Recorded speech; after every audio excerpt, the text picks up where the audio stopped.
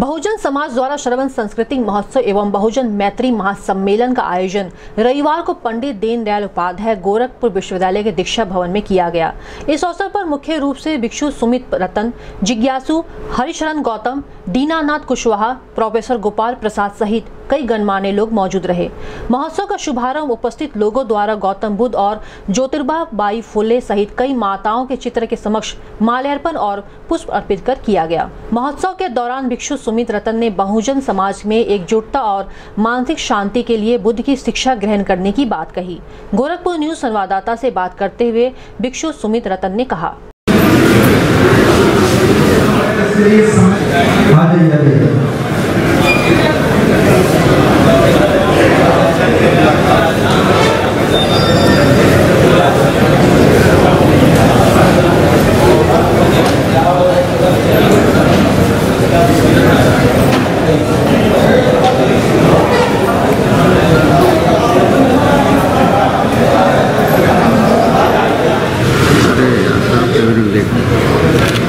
के द्वारा अलग अलग लोगों के द्वारा आप सभी लोगों के द्वारा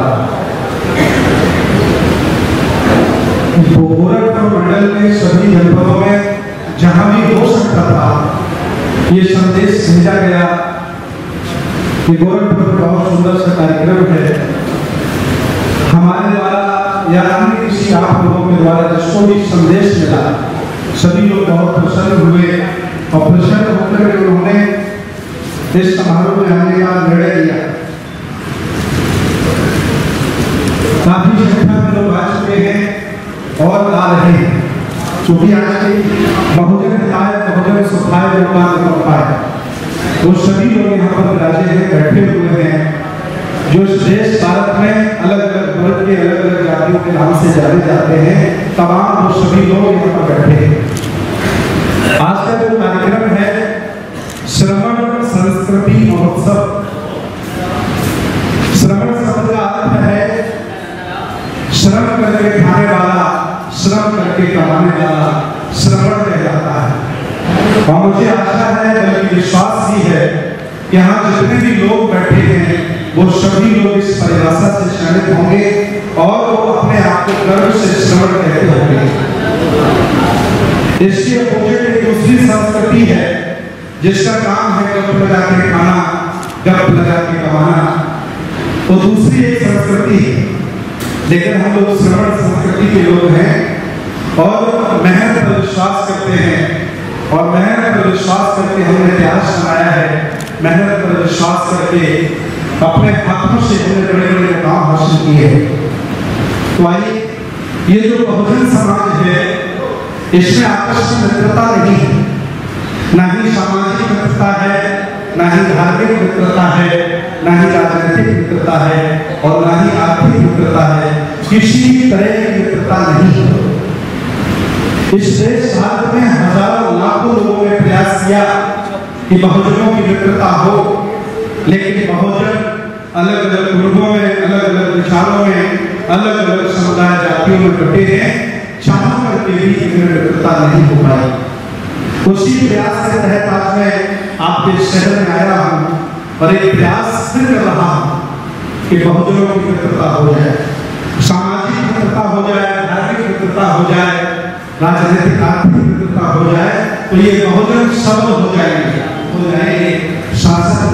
सकते तो कार्यक्रम का जो उद्देश्य है, श्रवण संस्कृति महोत्सव, श्रवण क्या है और बहुजन समाज। इसमें तमाम लोग पैदा हुए। क्योंकि जाति ये देश जातियों में बटा है अलग अलग वर्गों में बटा है तो इस देश में बहुजन समाज में अलग अलग जातियों में बहुत लोग पैदा हुए हैं। कभी हमने सुना है, कभी हमने नहीं सुना है, कभी पढ़ा, कभी नहीं पढ़ा ओवरऑल ज़्यादा जानकारी नहीं। आज हम प्रयास करेंगे कि कौन कौन वो लोग हैं जो बहुजन समाज में पैदा हुए और जिन्होंने बुद्ध की श्रृंखला, बुद्ध की उस संस्कृति को, उनकी सभ्यता को, उनकी विरासत को किया। की पावन भूमि पर ये श्रमण संस्कृति महोत्सव महोत्सव बहुजन मैत्री सम्मेलन हो रहा है। इस कार्यक्रम में पूरे मंडल के सभी हक वंचित समाज के लोग सभी वर्गों के लोग आ रहे हैं और आकर के भगवान बुद्ध का जो मार्ग है, भगवान बुद्ध की जो शिक्षा है, उनका जो देश के लिए कंट्रीब्यूशन है, वो बताया जाएगा और जितने भी संत उन सबकी शिक्षा पर प्रकाश डाला जाएगा। ये कार्यक्रम हर मंडल में हो रहा है, पूरे प्रदेश के हर मंडल में हो रहा है और सभी माताएँ, बहनें, उपासक, उपासिकाएँ सभी लोग इस कार्यक्रम में पदा लोगों में जो विभेदन है, लोग में जो ऊंच नीच का भाव है, लोग में जो अशिक्षा का भाव है, लोगों में जो व्यसन, जिसे नशा कहते हैं, प्रयुक्त मात्रा में है, उससे लोग दूर हों और एक अच्छा जीवन जीने का प्रयास करें, बुद्ध की शिक्षा को माने, ये हमारा संदेश है। दुनिया में एक ही उपाय है कि अगर कोई शांति चाहता है तो बुद्ध के मार्ग के अलावा कहीं शांति नहीं मिलेगी। बुद्ध सबका कल्याण चाहते बुद्ध कहते हैं भवतु शब्द मंगलंग, सबका कल्याण हो। उनके मन में कोई जाति नहीं है, कोई पुरुष महिला नहीं है, उनके मन में कोई ऊंच नीच नहीं है। वो सबका कल्याण चाहते हैं और जो उनकी सड़ में आता है उसका कल्याण होता है। धन्यवाद।